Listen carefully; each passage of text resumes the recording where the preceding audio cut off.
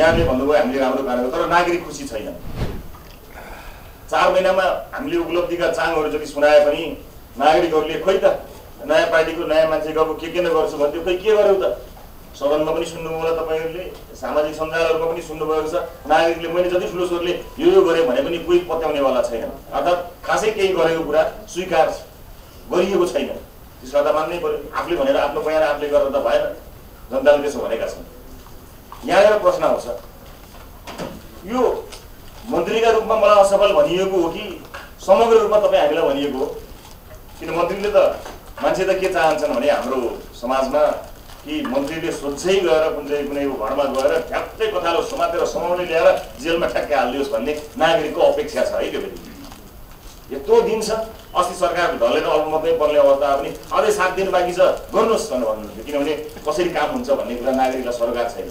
सात दिन धेरै हो नि त उहाँहरूको लागि। त नायक सिनेमा एक दिनमा डाङ डुङ भएको हेर्नु भएको छ। होइन? गएर ल अहिले गएर समाउने हेर्नुभएको छ। त्यो अपेक्षा छ। तर एउटा मन्त्रीका रूपमा मन्त्री सफल असफल भयो कि संयन्त्रका रूपमा हामी सबै सफल असफल भयो भन्ने कुरा यहाँहरूले पनि महसुस गर्नु होला दोष म लिन्छु। किन? तपाईँले सघाउनु भएकै छ। तर मनन चाहिँ सबैले गर्नु होला। नागरिकले के अपेक्षा गरेका छन्? यसको मनन यहाँहरूले गर्नु होला। म यहाँहरूलाई यति अनुरोध पनि गर्न चाहन्छु। कतिपय चिजहरू जस्तो मिटर ब्याज ठगीका विषयमा हामीले सडक भङ्ग मन्त्रालयमा आउँदा सडकभरि आन्दोलनै आन्दोलन चलेको छ। मिटर ब्याजीको आन्दोलन चलेको थियो सहकारीको आन्दोलन चलेको थियो आरती शाहको आन्दोलन विभिन्न आन्दोलन चलेको थियो। हामीले रातारात बैठक गरेर भए पनि ती सबै सडकमा भएका आम नागरिकहरूलाई सहमति गरेर सरकारले सहमति गरेर उहाँहरूलाई घर पठाउने काम गऱ्यौँ र त्यो सहमतिमा कायम रहनु होला एउटा मैले बाचा गरेको र गर्न नभ्याएको हुन त प्रक्रिया अगाडि बढिसकेको छ। यो औषधिजन्य औषधिजन्य उसको प्रयोजनका लागि गाँजाको एक महिनाभित्र हामीले नियमावली ल्याउने भनेर भनेको थियौँ। यो बोलेको कुरा पुरा गर्न सकिएन।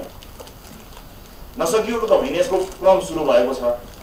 तर यो प्रतिबद्धता चाहिँ तपाईँहरूले आज मलाई दिनुपर्ने हुन्छ। किनकि यो क्रम त सुरु भएको छ। स्वाभाविक रूपमा यसका जटिलताले गर्दा समय लागेको हो। समितिले तिन महिना दिएको छ। मैले र सचिवले एक महिना भनेका थियौँ। हामी यहाँ फेल भइसक्यौँ। अब समितिको ले दिएको समयावधिभित्र चाहिँ हामी फेल हुनु भएन। त्यस कारणले म फेल भए केही छैन।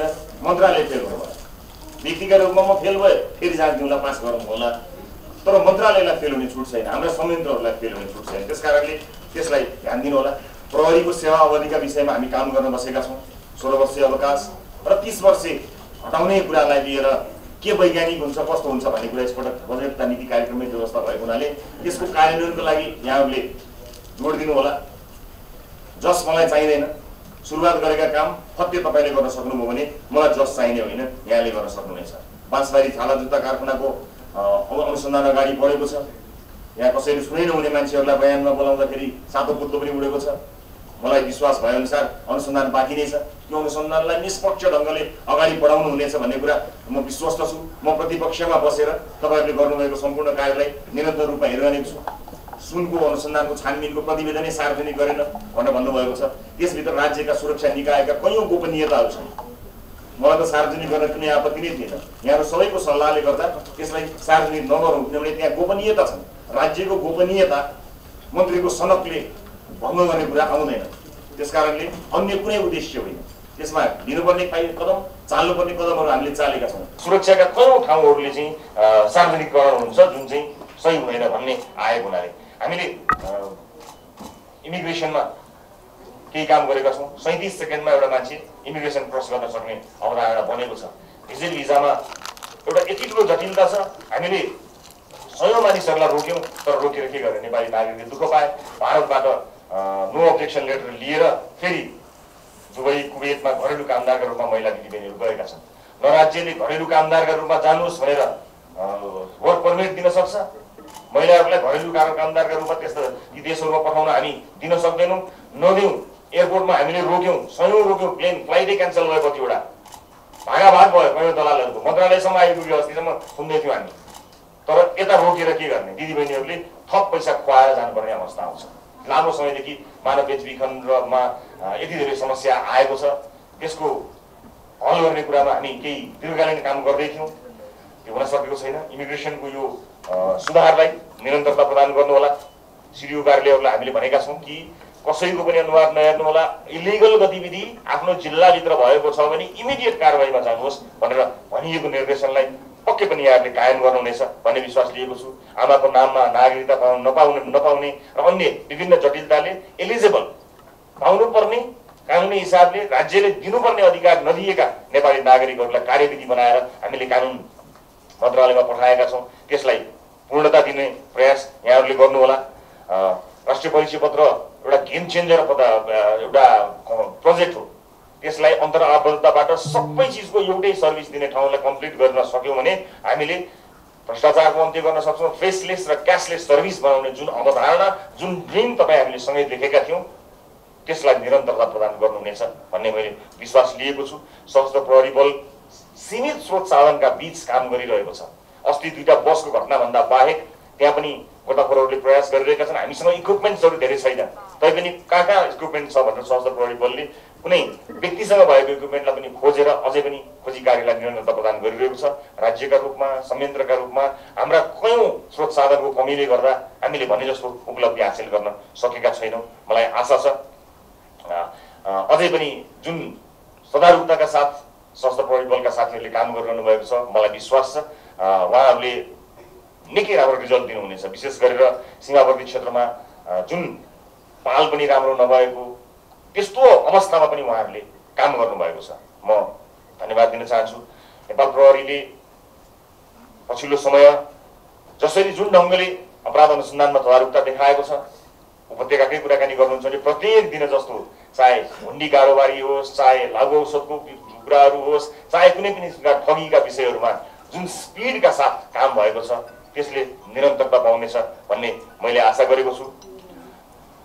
र जुन आधार हामीले बनाएका छौँ त्यो आधार नभकियोस् म फेरि पनि भन्न चाहन्छु खबरदारी गर्ने निकायहरू नहुँदाखेरि र विशेष गरेर ठुला राजनीतिक दलहरू मिल्दाखेरि भागभण्डाले गाजिएको हाम्रो समाजमा शान्ति सुव्यवस्था अपराध अनुसन्धानमा कुनै पनि प्रभाव नपरोस्। मैले भन्नै पर्ने हुन्छ कि कतिपय कुराहरू बजारमा छानबिनका क्रममा थिए कतिपय कुराहरू बयानका क्रममा थिए फरार अभियुक्तहरू पक्राउ परेका थिए। अब ती फरार अभियुक्त पक्राउ भएसँगै कयौँ कुराहरू बाहिर आएका छन्। तर बाहिर आएका कयौँ चिजहरू सरकार परिवर्तनसँगै सामसुङ्ग देखिन्छ चाहिँ नबोलेको अवस्था छ। त्यतिखेर नेपाल प्रहरीले र अनुसन्धान ब्युरोले तदारुकताका साथ काम गरोस्।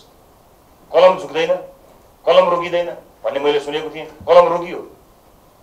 स्पष्ट पार्छु म तपाईँहरूलाई। बेचन जहाँ पक्राउ परे बेचन जहाँ पक्राउ परेसँगै मन्त्री परिषदमा निर्णय गराउँछु भनेको उनको अडियो सार्वजनिक भएको छ। त्यो मन्त्री परिषदमा सार्वजनिक गराउँछु।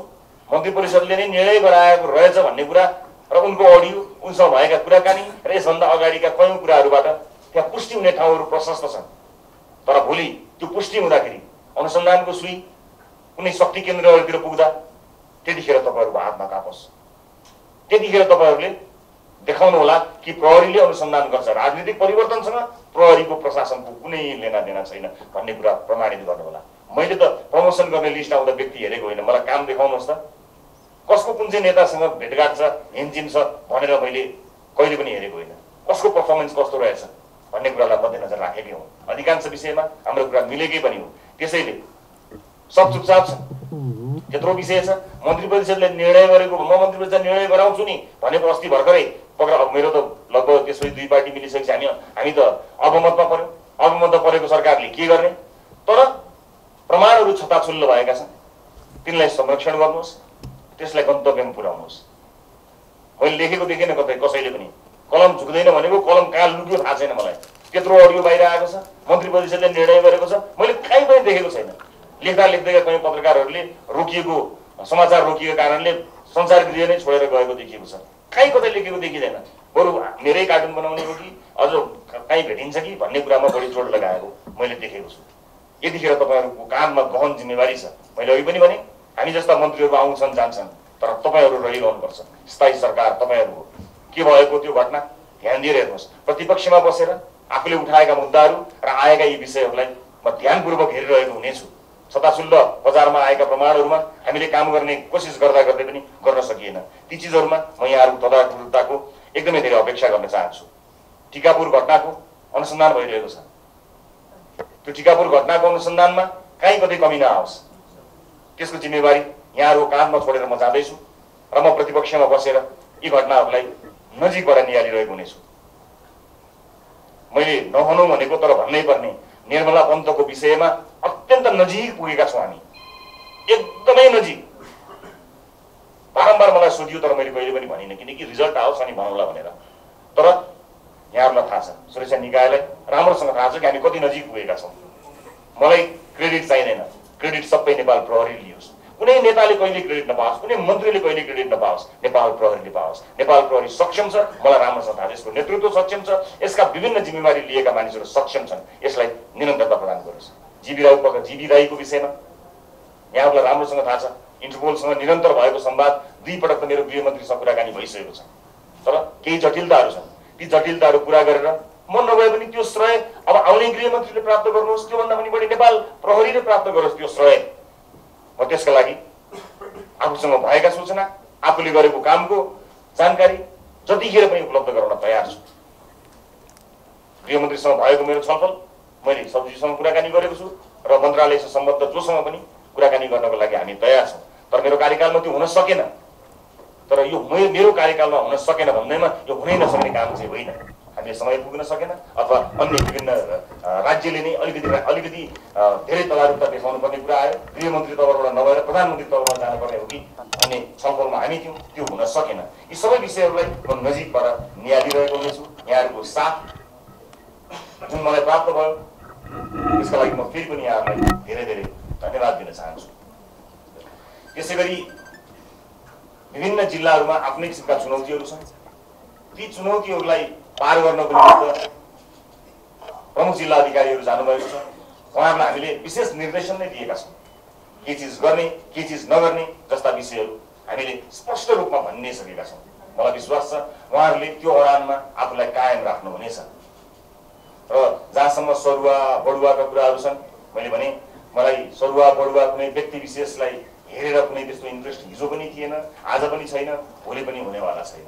मात्र तपाईँहरूले हेरेर गर्नुहोस्। मैले साई साहबसँग कुराकानी गर्दा सचिवसँग कुराकानी गर्दाखेरि प्रायः जस्तो हाम्रा कुराहरू मिल्छ। यसो गर्ने कि कहिलेकाहीँ कार्य क्षमताका आधारमा कसैको प्यासनका आधारमा मान्छेहरूलाई यताउता सार्ने भन्दा बाहेक हामीले बिधी मिच्ने काम गरेका छैनौँ। त्यस कारणले यो कुरालाई निरन्तरता दिनु होला बाँकी रह्यो मेरो कुरा। विषय त मेरो विषयमा नै धेरै कुरा उठेका छन्। उठ्छन् हिजो पनि उठेका हुन्। मैले आजसम्म यहाँहरू सबै यहीँ साक्षी हुनुहुन्छ। मैले आफ्ना विषयमा यो गर्नुहोस् त्यो गर्नुहोस् भनेर न कहीँ निर्देशन दिएको छु न कसैलाई सरुवा गर्नुहोस् भनेको छु। मेरो फाइल कहाँ रहेछ भनेर न मैले कुनै माध्यमबाट कहिले मन्त्रालयमा मैले पुर्याएको छु। तर पनि मन्त्री भएको कारणले तपाईँहरूलाई केही अप्ठ्यारो परेको रहेछ भने आजैबाट मेरा विषयमा गहन अध्ययन गहन अनुसन्धान गर्नुहोस्। गल्ती गरेको जो कोही होस् त्यो बच्नु हुँदैन। बचाउनु पनि हुँदैन। म खुसी हुन्छु। म खुसी हुन्छु र मैले त्यतिखेर पनि सदनमै उभिएर भनेको छु। कि मेरो मार्फतमा गृह प्रशासनसँग यति हिम्मत र साहस मैले भर्ने कोसिस गरेको छु कि आफ्नै गृहमन्त्रीलाई कार्यकक्षबाट हतकडी लगाउन सक्ने गरी स्वतन्त्रता दिएको छु भनेर मैले हिजो गर्वका साथ सदनमा भनेको आज म छोड्दै गर्दा जाँदै गर्दा म त्यो अधिकार फेरि पनि तपाईँलाई बताउन चाहन्छु कि अझ बढी मेरा विषयमा तपाईँहरूले गहन अध्ययन गर्नुहोस्। सञ्चार माध्यममा आएका विषयहरूलाई अध्ययन गर्नुहोस् हेर्नुहोस् कहीँ कतै मैले प्रभाव पो पारेँ कि? स्वतः प्रभावित पो हुन गयो कि? यो कुरालाई मध्यनजर गर्नु होला त्यस कारणले आफूलाई चाहिँ केही नगर्नु अरूलाई चाहिँ हेर्नु भन्ने त्यस्तो द्वैत चरित्र राखेर एउटा नेता धेरै माथि जान सक्दैन। त्यसैले यहाँ भन्ने कुराहरू यिनै हुन्। फेरि पनि म यहाँहरूले जुन साथ सहयोग मलाई प्रदान गर्नुभयो त्यसका लागि म धेरै धेरै धन्यवाद दिन चाहन्छु। कयौँ मुद्दाहरू कयौँ विषयहरू भागभन्डामा टुङ्गिन्छन् यो देशमा। तर एउटा बिन्दुमा आएर त्यो भागभन्डाबाट त्यसलाई बाहिर निकाल्नुपर्ने समय आउँछ। त्यो समय कहिले हो मलाई थाहा छैन। मलाई लाग्छ अहिले हो। अहिलेबाट नै हामीले यो राजनीतिक परिवर्तनसँग हाम्रो कुनै लेना देना छैन। जुन कुरामा अनुसन्धान चलेको छ त्यो सुरु सुरु अनुसन्धानमा जान्छ। जुन कुरामा हामीले सोधखोज गर्नुपर्छ त्यो निरन्तर हामी गरिरहन्छौँ। भन्नुभयो भने नागरिकले महसुस गर्नेछन् र नागरिकलाई थाहा हुनेछ कि साँच्चै नै जोसुकै मन्त्री भए पनि सरकारमा जोसुकै गए पनि केही पनि फरक पर्ने रहेनछ भन्ने कुरा मान्नुहुनेछ। अन्त्यमा यो छोटो अवधिमा तपाईँहरूलाई मैले धेरै प्रेरित गर्न त सकिनँ तर जाँदा जाँदै म यति भन्न चाहन्छु यदि देशमा परिवर्तन नचाहिएको भए यदि जे चलिरहेको छ त्यही नै सही भइदिएको भए जुन संयन्त्र चलिरहेको छ त्यही नै भइदिएको भए हामीले दैनिक गाली गलोज खाएर आलोचना सहेर अनेक किसिमका लान्छनाहरू सहेर यसरी नयाँ पुस्ता आउनुपर्ने थिएन। अर्थात् नयाँ पुस्ताको यो आगमन व्यक्ति को हुन्छ थाहा छैन। तर संयन्त्रका रूपमा राज्य सम्बन्धमा जबरजस्त हस्तक्षेप गर्न नयाँ पुस्ताको आगमन भइसकेको छ। त्यसको महसुस प्रहरीलाई पनि होस् प्रशासनलाई पनि होस्। व्यक्तिका रूपमा म फेरि आउँछु आउँदिनँ मलाई थाहा छैन। तर सङ्केतका रूपमा अब जसरी चलिरहेको छ त्यसरी चल्दैन भन्ने कुराको एउटा सङ्केत राम्रो निस्किएको छ। म यहाँहरूलाई त्यही अनुरूप आफ्नो कार्य गर्नको निमित्त अनुरोध गर्न चाहन्छु। काम गर्ने सिलसिलामा मेरो अलिकति हतारो का बिचमा कहीँ कतै तपाईँहरूलाई मैले चोट लाग्ने गरी केही भनेको रहेछु भने मलाई क्षमा गरिदिनु होला। तर काम गर्ने सिलसिलामा गर्दा गर्दै तपाईँबाट भएका कमजोरीहरू त्यसको जिम्मा म लिन्छु। काम गर्ने क्रममा मैले केही स्याबासीहरू पाएको रहेछु भने ती सम्पूर्ण स्याब्या स्याबासीहरू म आज तपाईँहरूलाई चढाउन चाहन्छु। त्यो तपाईँहरूले गर्दा नै हो। थोरै मैले केही ख्याति आर्जन गरेको रहेछु भने पनि त्यो तपाईँहरूले गर्दा हो। र केही खासै गर्न नसकेको विषयको दोष म तपाईँको टाउकोमा थुपारेर जान चाहन्न तपाईँहरूले सब उद्देश्यका साथ राम्रो उद्देश्यका साथ गर्दै गएको यो कामको गर्दा गर्दै हामीले गर्न नसकेको फचोट हुन नसकेका आदि अधुरा यी कामहरूको जस अपजसमा म तपाईँसँग सहभागी छु र फेरि पनि यहाँहरूसँगको यो साथ एकदमै सुखद रह्यो हामी फेरि भेट्छौँ। कुन रूपमा? कसरी? मलाई थाहा छैन तर हामी फेरि भेट्छौँ। कुनै न कुनै रूपमा भेट्छौँ।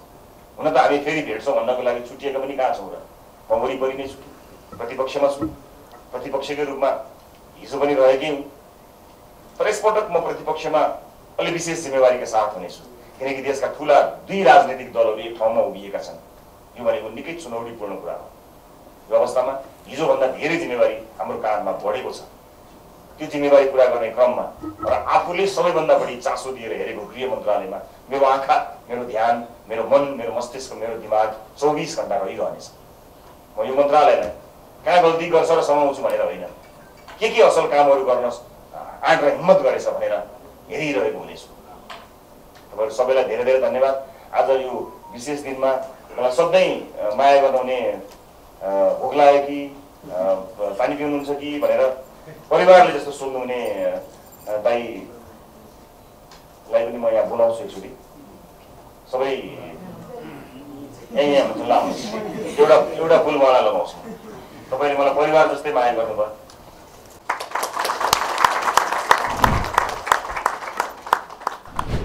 लेख्छ सत्य बोल्छ सत्य अर्थ सरोकार।